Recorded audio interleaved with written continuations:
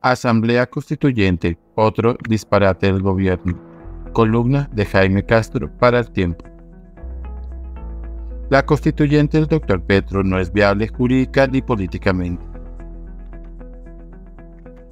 Los propósitos, la convocatoria y la elección de una constituyente no dependen exclusivamente de la voluntad y los deseos del gobierno de turno, porque la Carta Política define y reglamenta los temas anotados.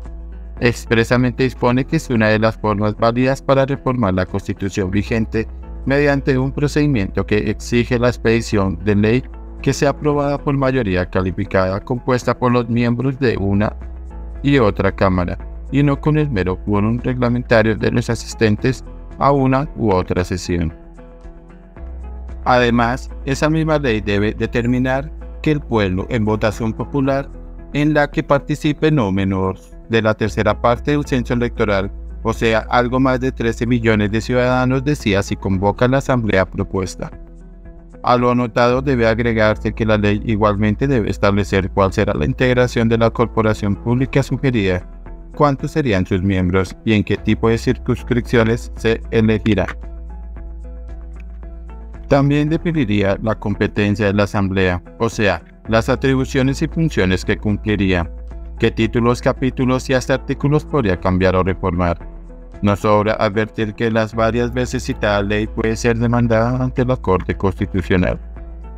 Cumplido todo el proceso anterior, los ciudadanos que acudan a las urnas escogerían los constituyentes en una votación que no puede tener lugar simultáneamente con otro acto electoral, es decir, que debe tener lugar en día distinto a aquel en el que se elijan jefe de Estado y congresistas.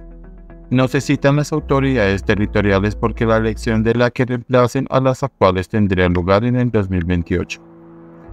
En el mejor de los casos, entonces, la elección de los constituyentes tendría lugar a fines del 2025 o principios del 2026 y no coincidiría con el día, pero sí con la época de la elección de presidente y congresistas. Es fácil imaginar todas las consecuencias, complicaciones y enredos de carácter político electoral que tendría lo anotado. Si se deja esa elección para después de agosto del 2026, Petro no orientará ni manejaría la asamblea, sino que lo suceda en el ejercicio del poder. La asamblea no se convocaría para reformar la constitución, sino para convertir en textos constitucionales los proyectos de ley del gobierno que no fueron aprobados por el Congreso si seguimos este camino tendríamos constituyente permanente porque se convocaría cada vez que una de las cámaras niegue una iniciativa legislativa oficial. El gobierno sostiene que las manifestaciones populares a favor de la propuesta gubernamental impulsarán y definirán su suerte. Olvida que esas reuniones públicas ya no son mayoritariamente favorables al gobierno y que las únicas instancias que deciden la aprobación o no de la convocatoria de la Asamblea son el Congreso y los ciudadanos en las urnas. La legitimidad política del proceso citado exige en su trámite desarrollo y aprobación. Participen activamente la mayoría de las fuerzas políticas de la nación, incluidas las que no estén de acuerdo con la iniciativa.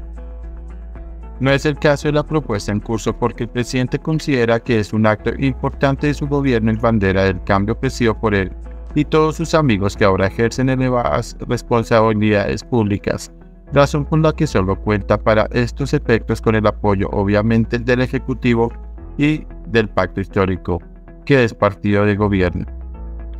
Todo lo anterior permite concluir que la constituyente del Dr. Petro no es viable jurídica ni políticamente.